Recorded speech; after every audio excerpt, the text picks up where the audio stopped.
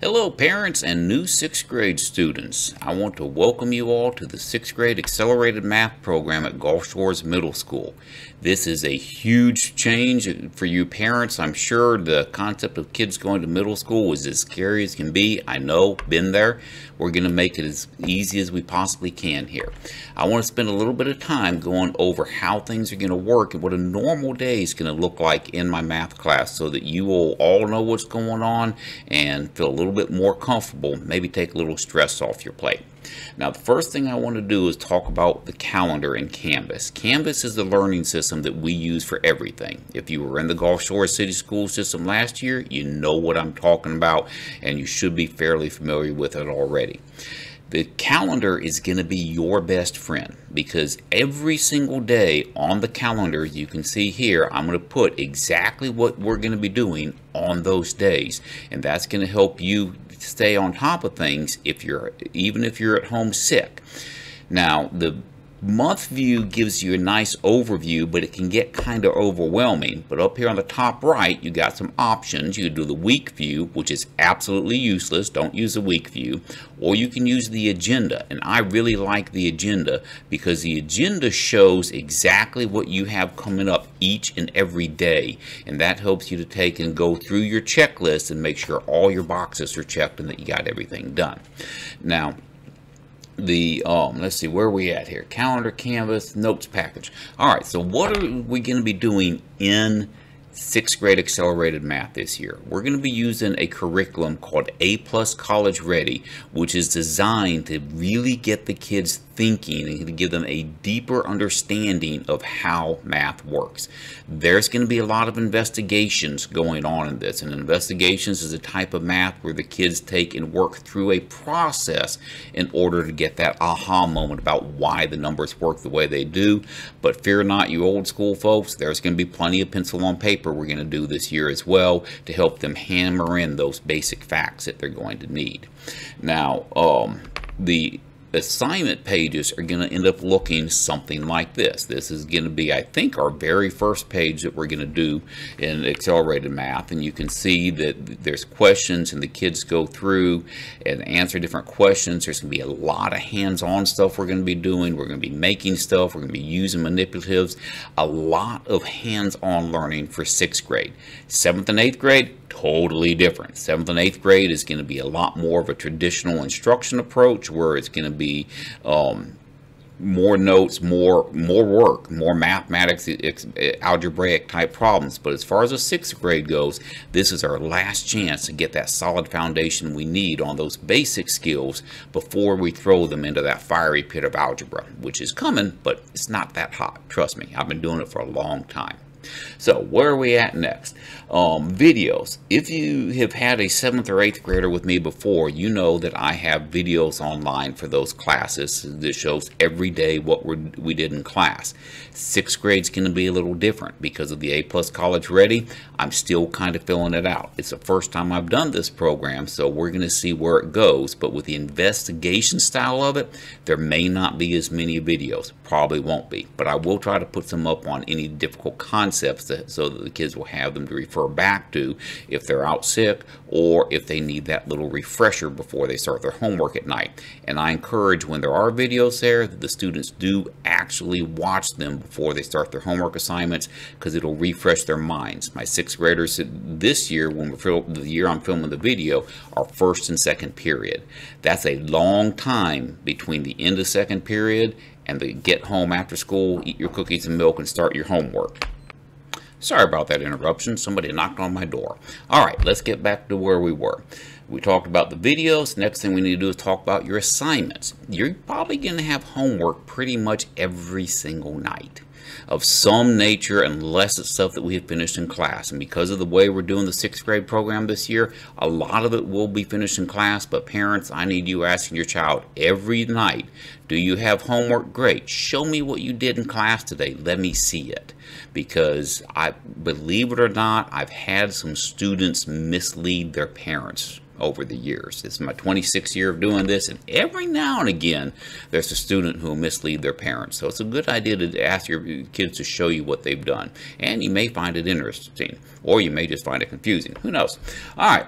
Now, for turning in the homework, we're going to be doing all that on Canvas, and there's going to be one of four grades that are given. The grades they're going to get is going to be either a 10 out of 10, and to get a 10 out of 10, that means that I've looked at your homework assignment and you've shown me you completed the whole thing, you demonstrated a generally good understanding of what's going on. It's not being graded necessarily for right and wrong, it's being graded for comprehension. Then we have a 5 out of 10. 5 out of 10 is you did either had an incomplete assignment, and if you leave one question unanswered, you, it's incomplete. It's 5 out of 10. Or you showed me that you had a kind of understanding, but you're still missing some concepts. And then you have a 0 out of 10. 0 out of 10 means the paper was basically blank, or you didn't have a clue, or your student didn't have a clue on what they were doing. Now, those two there, the 5 out of 10 and the 0 out of 10, sound kind of rough on to parents, but I want you to understand how I grade. You see, when I give a homework assignment, say today's homework assignment, goes out today. They do it, and then tomorrow we start off class giving the students a chance to ask questions. So if they didn't understand it, they can ask questions in class. I show them how to work it. They can write down those problems as I'm showing them how to work it. Turn it in to me by 3 p.m. that day, and they still get that full 10 out of 10 credit for showing that they understand.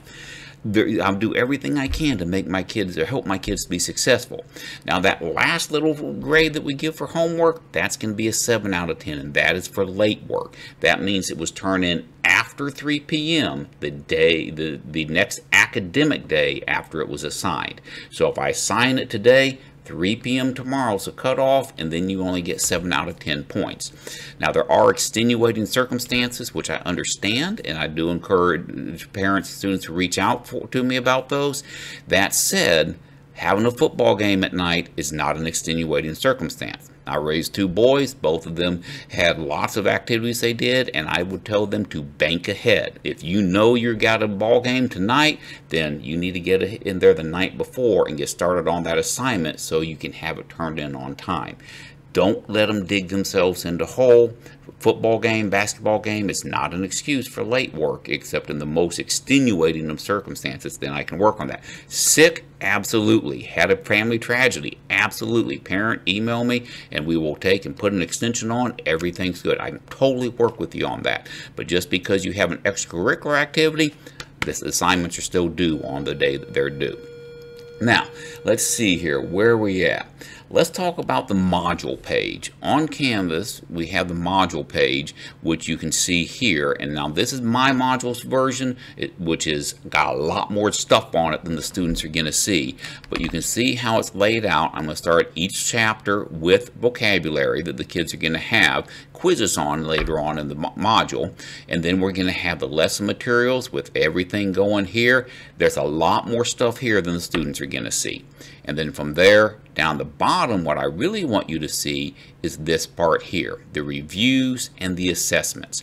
You see the review like 1.1 through 1.4 vocab quiz matches up to an assessment. This practice quiz is identical to this real quiz and they can take the practice quiz as many times as they want to and still get full credit. Uh, it's, it's, excuse me, well, not get full credit for but many times they want to to make sure they're ready for the real thing.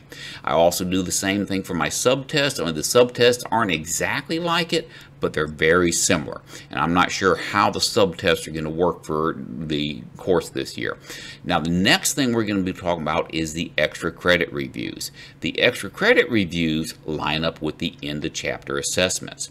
And the extra credit review is worth five bonus points on the chap into chapter assessment. To get those five bonus points, they have to earn a 90% or above on the extra credit review. And that is, again, once again, they'll be allowed to take it as many times as they want to do it, but it's only going to be open for the 24 hours, midnight to midnight, the day before the test. Now, once again, extenuating circumstances life happens. I get that. If life happens and they can't get it done, mom, dad, grandparents, I need you to reach out to me and let me know, and then we can take and work on some extra time. Same thing goes on test.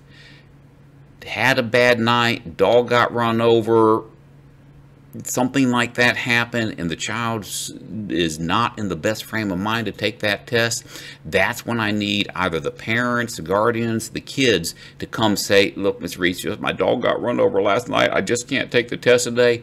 I understand. I feel it for you tell you what, you tell me when you're going to be ready for you to take the test, and right now you just go back there and study. That's going to be my attitude towards it. I want my students to be successful, and that means sometimes giving them a little bit of extra time to prepare for things.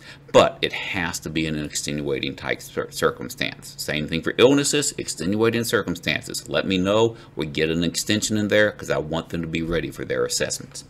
All right, where we got here next, grading policy. I I've done it all. Parents, students, there goes another bell. I look forward to working with you all this year. It's going to be a great year. We're going to do some really exciting things in sixth grade accelerated math as we get you ready for that three-year program where by the end of eighth grade, you will be presumed to have completed Algebra 1 and have that knocked off your list for high school. I look forward to seeing you at the start of school. Y'all have a great day.